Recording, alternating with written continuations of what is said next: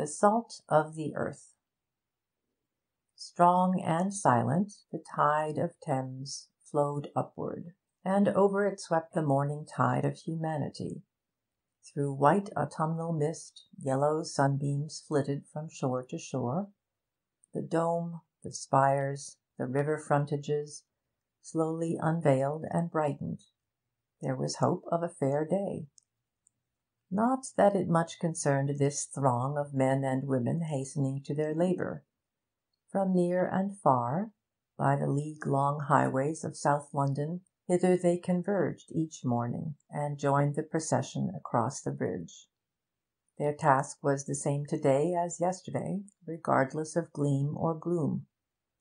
Many had walked such a distance that they plodded wearily, looking neither to right nor left. The more vigorous strode briskly on, elbowing their way, or nimbly skipping into the road to gain advance. Yet these also had a fixed gaze, preoccupied or vacant, seldom cheerful.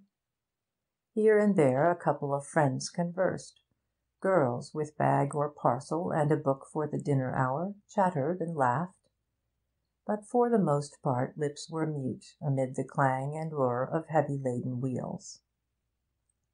It was the march of those who combat hunger with delicate hands, at the pen's point, or from behind the breastwork of a counter, or trusting to bare wits pressed daily on the grindstone. Their chief advantage over the sinewy class beneath them lay in the privilege of spending more than they could afford on house and clothing. With rare exceptions, they had no hope, no chance, of reaching independence. Enough if they upheld the threadbare standard of respectability, and bequeathed it to their children as a solitary heirloom. The oldest looked the poorest, and naturally so. Amid the tramp of multiplying feet, their steps had begun to lag, when speed was more than ever necessary. They saw newcomers outstrip them, and trudged under an increasing load.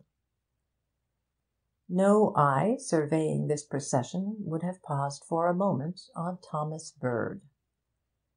In costume there was nothing to distinguish him from hundreds of rather shabby clerks who passed along with their out of fashion chimney pot and badly rolled umbrella. His gait was that of a man who takes no exercise beyond the daily walk to and from his desk. The casual glance could see nothing in his features but patient dulness tending to good humour. He might be thirty, he might be forty, impossible to decide.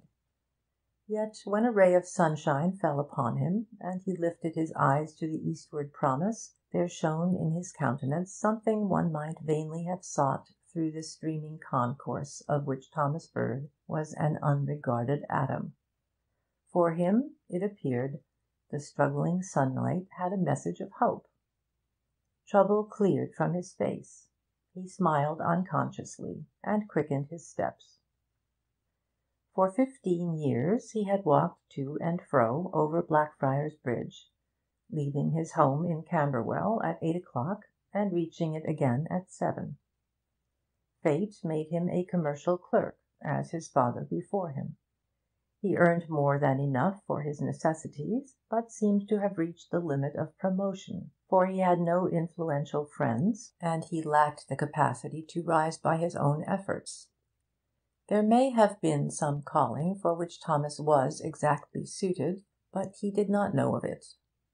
In the office he proved himself a trustworthy machine, with no opportunity of becoming anything else.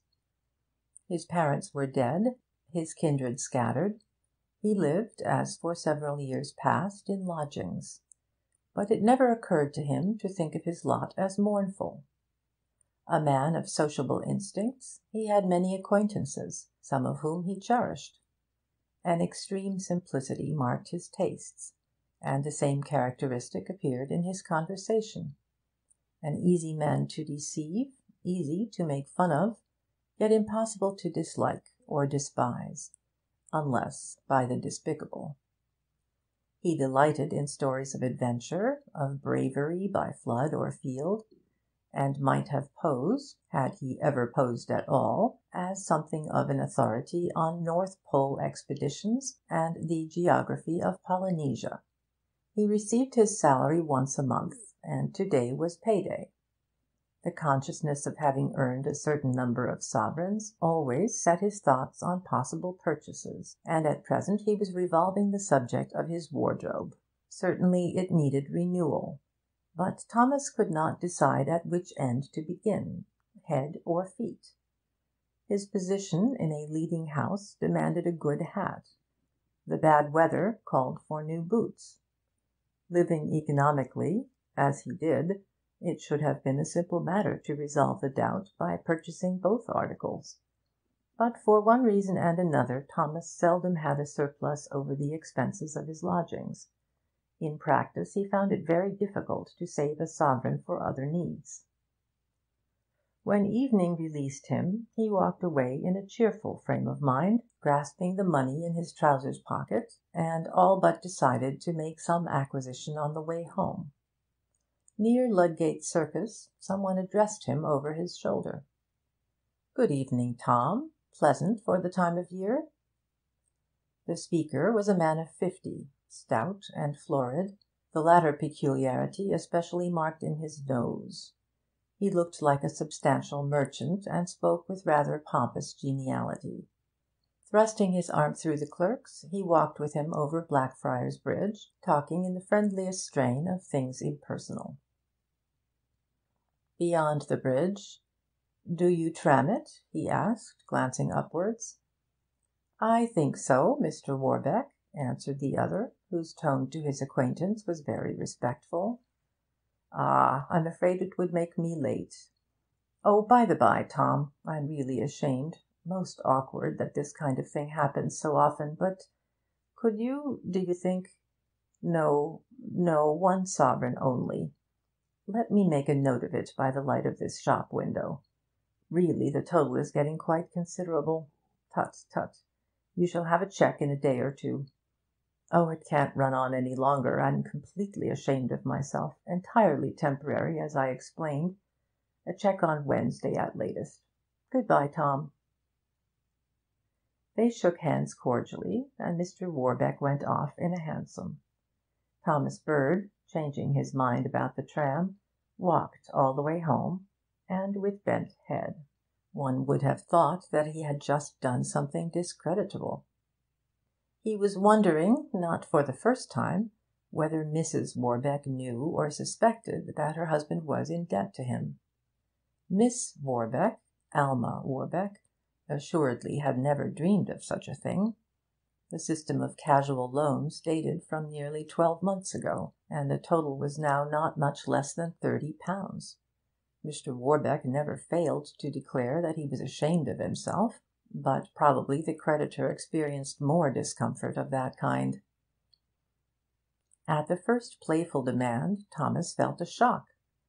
He had known the Warbecks since he was a lad, had always respected them as somewhat his social superiors and as time went on had recognised that the difference of position grew wider, he remaining stationary, while his friends progressed to a larger way of living. But they were, he thought, no less kind to him. Mrs. Warbeck invited him to the house about once a month, and Alma Alma talked with him in such a pleasant, homely way. Did their expenditure outrun their means? He would never have supposed it, but for the City man's singular behaviour. About the cheque so often promised he cared little, but with all his heart he hoped Mrs. Warbeck did not know. Somewhere near Camberwell Green, just as he had resumed the debate about his purchases, a middle aged woman met him with friendly greeting. Her appearance was that of a decent shopkeeper's wife. 'I'm so glad I've met you, Mr. Bird. I know you'll be anxious to hear how our poor friend is getting on.' She spoke of the daughter of a decayed tradesman, a weak and overworked girl who had lain for some weeks in St. Thomas's Hospital. Mrs. Pritchard, a gadabout infected with philanthropy, was fond of discovering such cases, and in everyday conversation made the most of her charitable efforts. 'They'll allow her out in another week,' she pursued, 'but of course she can't expect to be fit for anything for a time, and I very much doubt whether she'll ever get the right use of her limbs again. But what we have to think of now is to get her some decent clothing. The poor thing has positively nothing. I'm going to speak to Mrs. Doubleday, and a few other people. Really, Mr. Bird, if it weren't that I've presumed on your good nature so often lately ' She paused, and smiled unctuously at him. 'I'm afraid I can't do much,' faltered Thomas, reddening at the vision of a new chimney pot. 'No, no, of course not. I'm sure I should never expect. It's only that every little, however little, does help, you know.' Thomas thrust a hand into his pocket and brought out a florin, which Mrs. Pritchard pursed with effusive thanks. Certain of this good woman's critics doubted her competence as a trustee, but Thomas Bird had no such misgiving. He talked with kindly interest of the unfortunate girl, and wished her well in a voice that carried conviction. His lodgings were a pair of very small, mouldy, and ill furnished rooms.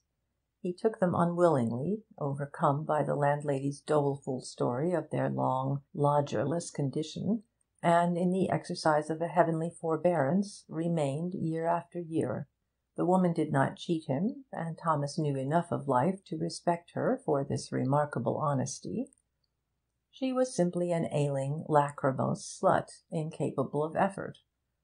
Her son, a lad who had failed in several employments from sheer feebleness of mind and body, practically owed his subsistence to Thomas Bird, whose good offices had at length established the poor fellow at a hairdresser's. To sit frequently for an hour at a time, as Thomas did, listening with attention to Mrs. Batty's talk of her own and her son's ailments, was in itself a marvel of charity. This evening she met him as he entered, and lighted him into his room. 'There's a letter come for you, Mr. Bird. I put it down somewheres. Why, now, where did I oh, 'ere it is. You'll be glad to 'ear as Sam did his first shave to day, and his hand didn't tremble much neither.' Burning with desire to open the letter, which he saw was from Mrs. Warbeck, Thomas stood patiently until the flow of words began to gurgle away amid groans and pantings. 'Well,' he cried gaily. 'Didn't I promise Sam a shilling when he'd done his first shave? If I didn't, I ought to have, and here it is for him.' Then he hurried into the bedroom, and read his letter by candlelight. It was a short scrawl on thin, scented, pink hued notepaper. Would he do Mrs. Warbeck the favour of looking in before ten to night? No explanation of this unusually worded request and Thomas fell at once into a tremor of anxiety. With a hurried glance at his watch, he began to make ready for the visit, struggling with drawers which would neither open nor shut, and driven to despair by the damp condition of his clean linen. In this room, locked away from all eyes but his own, lay certain relics which Thomas worshipped. One was a photograph of a girl of fifteen. At that age Alma Warbeck promised little charm, and the photograph allowed her less. But it was then that Thomas Bird became her bondman, as he had ever since remained. There was also a letter, the only one that he had ever received from her. 'Dear Mr. Bird, Mamma says will you buy her some more of those jujubes at the shop in the City and bring them on Saturday. Yours sincerely, Alma Warbeck.'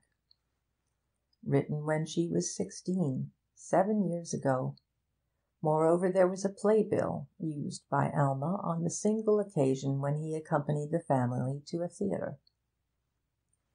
Never had he dared to breathe a syllable of what he thought, hoped would misrepresent him, for Thomas in this matter had always stifled hope. Indeed, hope would have been irrational.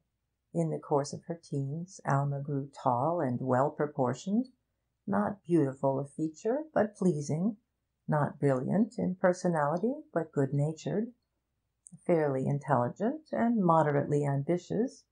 She was the only daughter of a dubiously active commission agent, and must deem it good fortune if she married a man with three or four hundred a year.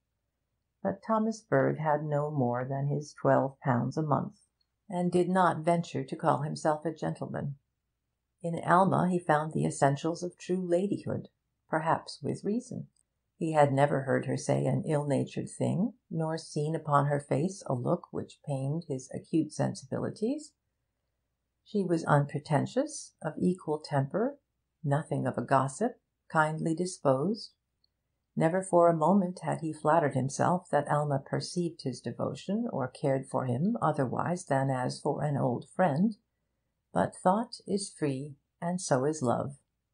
The modest clerk had made this girl the light of his life, and whether far or near, the rays of that ideal would guide him on his unworldly path. New shaven and freshly clad, he set out for the Warbecks' house, which was in a near part of Brixton. Not an imposing house by any means, but an object of reverence to Thomas Bird. A servant whom he did not recognise servants came and went at the Warbecks admitted him to the drawing room, which was vacant. There, his eyes wandering about the gimcrack furniture, which he never found in the same arrangement at two successive visits, he waited till his hostess came in. Mrs. Warbeck was very stout, very plain, and rather untidy, yet her countenance made an impression not on the whole disagreeable. With her wide eyes, slightly parted lips, her homely smile, and unadorned speech, she counteracted in some measure the effect, upon a critical observer, of the pretentious ugliness with which she was surrounded. Thomas thought her a straightforward woman, and perhaps was not misled by his partiality. Certainly the tone in which she now began, and the tenor of her remarks, repelled suspicion of duplicity. 'Well, now, Mr. Thomas, I wish to have a talk.' She had thus styled him since he grew too old to be called Tom, that is to say, since he was seventeen. He was now thirty one and I'm going to talk to you just like the old friends we are. You see? No nonsense, no beating about the bush. You'd rather have it so, wouldn't you?' Scarce able to articulate, the visitor showed a cheery assent. 'Yes, I was sure of that. Now, better come to the point at once. My daughter is well, no, she isn't yet, but the fact is, I feel sure she'll very soon be engaged. The blow was softened by Thomas's relief at discovering that money would not be the subject of their talk, yet it fell upon him, and he winced. 'You've expected it,' pursued the lady with bluff good humour. 'Yes, of course you have.' She said. said 'ave,' a weakness happily unshared by her daughter.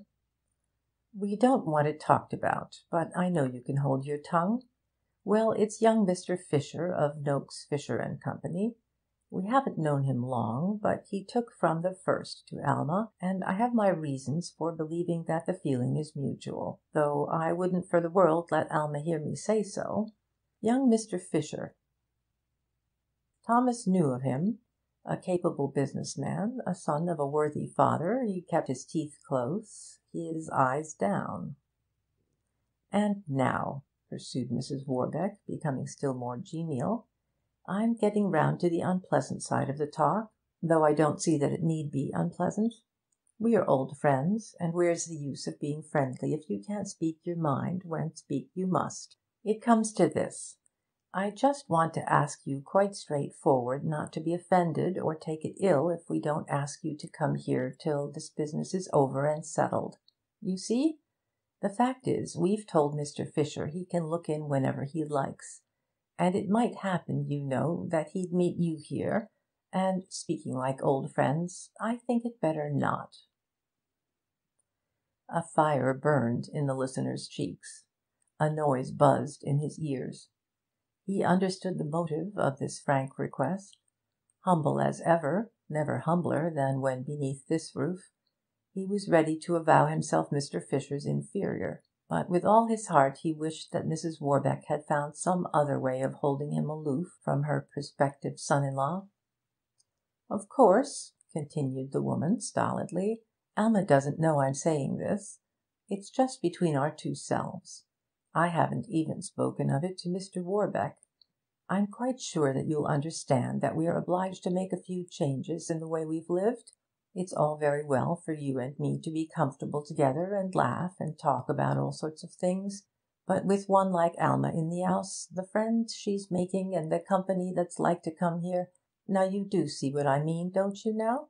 And you won't take it in the wrong way? No, I was sure you wouldn't. There now, we'll shake hands over it, and be as good friends as ever.' The handshaking was metaphorical merely. Thomas smiled, and was endeavouring to shape a sentence, when he heard voices out in the hall. 'There's Alma and her father back,' said Mrs. Warbeck.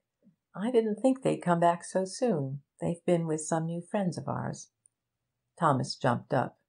'I can't I'd rather not see them, please, Mrs. Warbeck. Can you prevent it?' His voice startled her somewhat, and she hesitated. A gesture of entreaty sent her from the room. As the door opened, Alma was heard laughing merrily. Then came silence.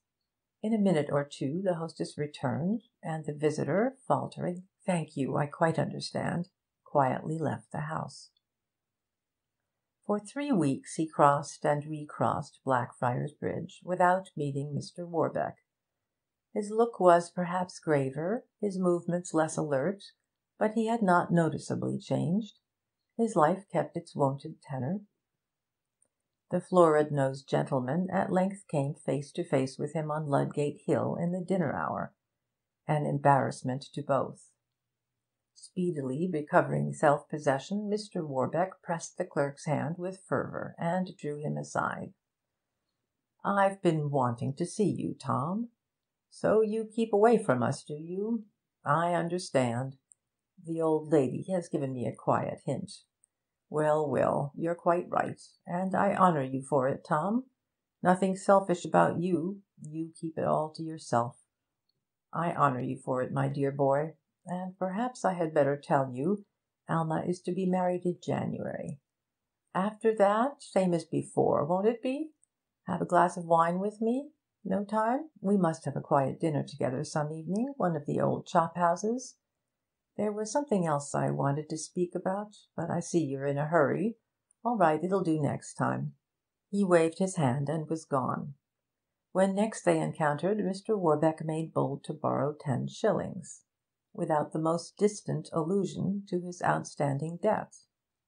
Thomas Bird found comfort in the assurance that Mrs. Warbeck had kept her secret as the borrower kept his. Alma's father was not utterly dishonoured in his sight. One day in January, Thomas, pleading indisposition, left work at twelve. He had a cold and a headache, and felt more miserable than at any time since his schooldays. As he rode home in an omnibus, Mr. and Mrs. Warbeck were entertaining friends at the wedding breakfast, and Thomas knew it. For an hour or two in the afternoon he sat patiently under his landlady's talk, but a fit of nervous exasperation at length drove him forth, and he did not return till supper time. Just as he sat down to a basin of gruel, Mrs. Batty admitted a boy who brought him a message. 'Mother sent me round, Mr. Bird,' said the messenger, 'and she wants to know if you could just come and see her. It's something about father. He had some work to do, but he hasn't come home to do it.' Without speaking, Thomas equipped himself and walked a quarter of a mile to the lodgings of a married friend of his, a clerk chronically out of work and too often in liquor. The wife received him with tears. After eight weeks without earning a penny, her husband had obtained the job of addressing five hundred envelopes, to be done at home and speedily. Tempted forth by an acquaintance for half a minute, as he sat down to the task, he had been absent for three hours, and would certainly return unfit for work. 'It isn't only the money,' sobbed his wife, 'but it might have got him more work, and now of course he's lost the chance, and we haven't nothing more than a crust of bread left, and Thomas slipped a half crown into her hand and whispered, 'Send Jack before the shops close.' Then, to escape thanks, he shouted out, 'Where's these blessed envelopes, and where's the addresses? All right, Just leave me this corner of the table, and don't speak to me as long as I sit here.' Between half past nine and half past twelve, at the rate of eighty an hour, he addressed all but half the five hundred envelopes. Then his friend appeared, dolefully drunk. Thomas would not look at him. 'He'll finish the rest by dinner to morrow,' said the miserable wife, 'and that's in time.' So Thomas Bird went home. He felt better at heart, and blamed himself for his weakness during the day. He blamed himself often enough for this or that, knowing not that such as he are the salt of the earth.